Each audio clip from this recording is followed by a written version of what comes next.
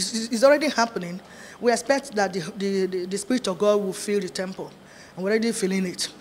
We're already feeling it. We expect also that people will go home and to be indelible in their brain. Oh, this, today is, is a, special day and it's wonderful. Ehiliz Music Concert 2021 took a swift turn with the emergence of popular gospel artists like Mike Abdul, Yinka Alaseyori, Righteous Man, Tosin B, amongst others. The excited reactions of fans made all the difference as they responded to the energetic performances of the gospel artist. It's part of the the vision given to her that's by God that says, Sing unto me. Right from the time she was called far back, uh, early uh, 70s, that sing unto me. According to the host artist, Ehiliz, the concert is one of thanksgiving as she is filled with so much gratitude after 27 years in the gospel music industry.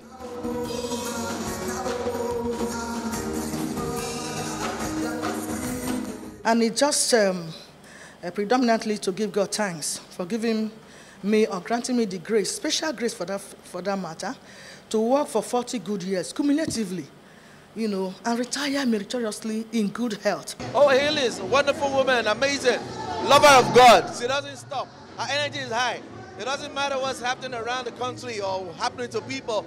Her energy is always top notch. She's a great woman. She has been singing for over 30 years. That wild grace. So I have to keep doing what I do so that I will say I'm not, I'm not singing anymore. I have to keep singing.